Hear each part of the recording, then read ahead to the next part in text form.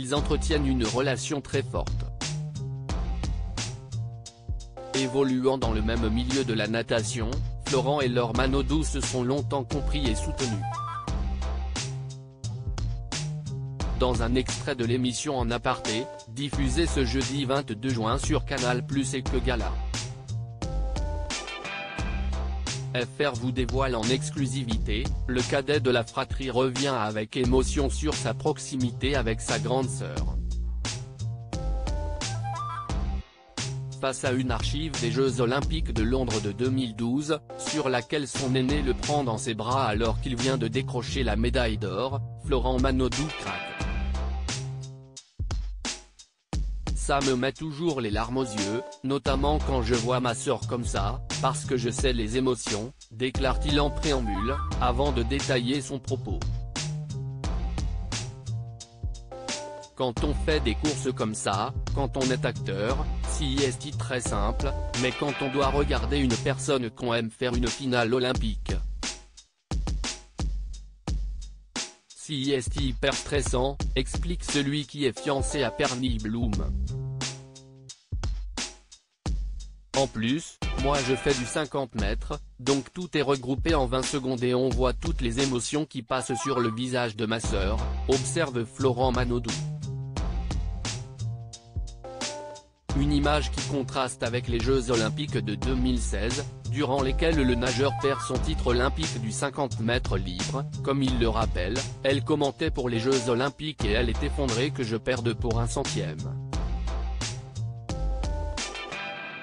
Donc ça me met les larmes aux yeux de pouvoir me dire que je peux donner des émotions.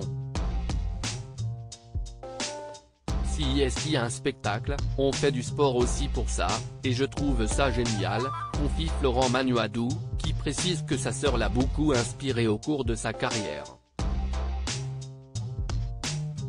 Florent Manodou, son aveu étonnant sur sa sœur leur est bien connue, les sportifs de haut niveau ont un certain niveau à tenir. Une pression qui n'est pas toujours facile à gérer, comme l'explique Florent Manodou, à nos confrères de Dr Good en 2022. J'ai vu beaucoup de sportifs se perdre un petit peu en chemin. Avoir des objectifs très élevés et faire des choses qui n'étaient pas en accord avec eux-mêmes. Et le sportif de faire un étonnant aveu au sujet de son aîné, j'ai vu ma sœur très heureuse, j'ai vu ma sœur très triste aussi, révèle-t-il, faisant sans doute référence où la compagne de Jérémy Frérot avouait elle-même être dans un état de saturation.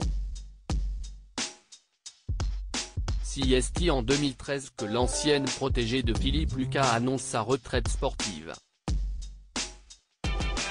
Depuis, la sœur de Florent Manodou évolue en tant que consultante sur les épreuves de natation lors des grands événements à la télévision. L'émission En aparté, présentée par Nathalie Lévy et avec Florent Manodou comme invité, sera diffusée ce jeudi 22 juin dès 20h35, sur Canal+. Crédit photo, capture d'écran Canal+.